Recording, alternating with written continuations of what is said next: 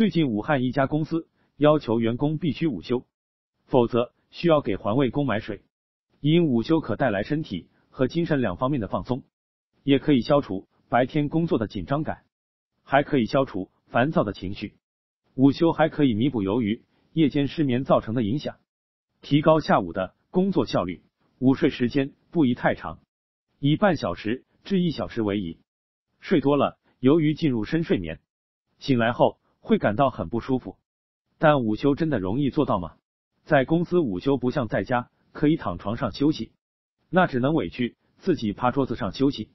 但是每次趴着睡时，导致将手压在身下，血液不循环，引起手麻，动一下就像触电一样，那感觉酸爽。因此很多人。会选择不午休，而是选择看看电视或者玩玩手机。我们可以到某宝上买个趴趴枕，解决我们的问题。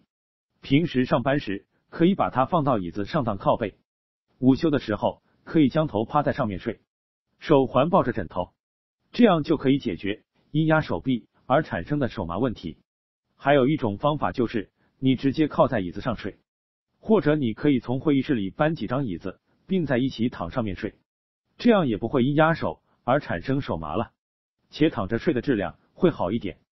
当然，你也可以选择打地铺，在自己办公抽屉里准备几张报纸，中午的时候可以铺在地上进行午睡。但是这几种睡姿似乎有些不雅，但为了下午的工作，不得而为之。